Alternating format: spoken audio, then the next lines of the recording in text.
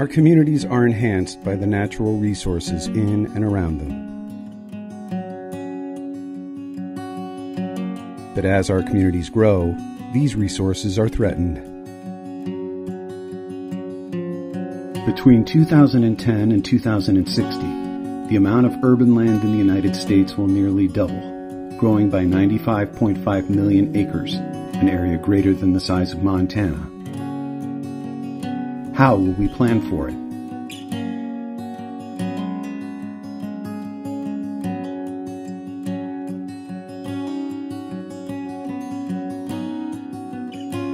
I feel that um, my generation failed utterly.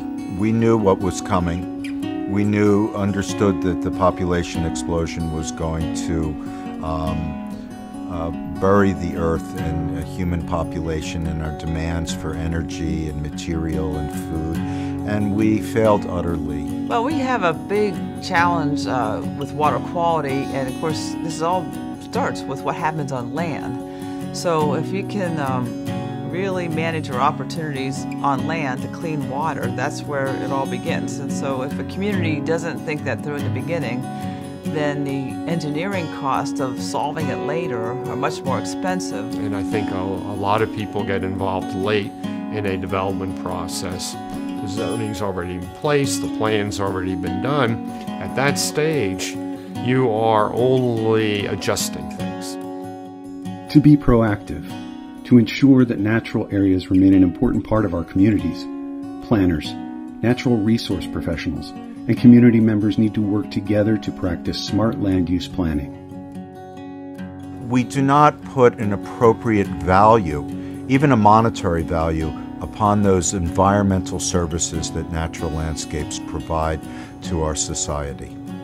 And what we're trying to get people to understand is yes, this forest land, there are benefits coming off of that land to you. There's so much research that shows that communities that have access to parks and natural spaces, uh, property values, uh, people want to live there. There's so many benefits of having these resources. There are a lot of tools available to work with various communities. Um, sometimes the issue, though, is that a lot of the communities aren't aware of the tools that are out there to help them um, as, as their community grows and or change. That's why we have inequity in our tree canopy coverage. That's why we have inequity when it comes to quality park access, uh, because the folks who were relegated to certain neighborhoods maybe didn't have as many resources allotted to them and didn't have as many parks. I think it's a, uh, important to have a planning process that brings people together to kind of figure out, okay, what do we want? How are we going to get there? How are we going to get there in a way that makes the best sense for the community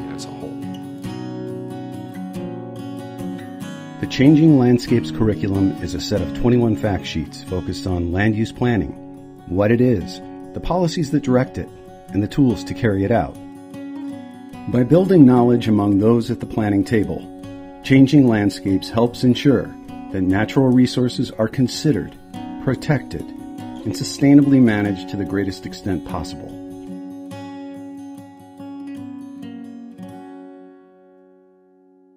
For more information, visit Changing Landscapes